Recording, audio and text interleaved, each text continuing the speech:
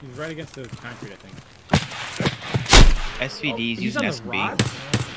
Up high?